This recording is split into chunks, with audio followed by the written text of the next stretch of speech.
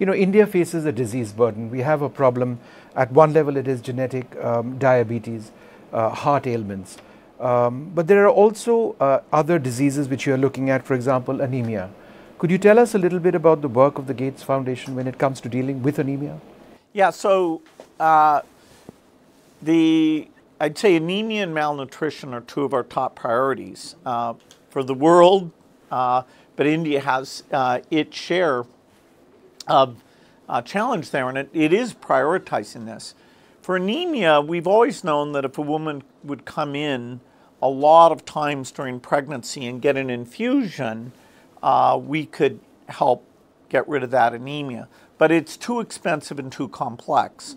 The recent breakthrough is there's a formulation uh, that you could come in only one time.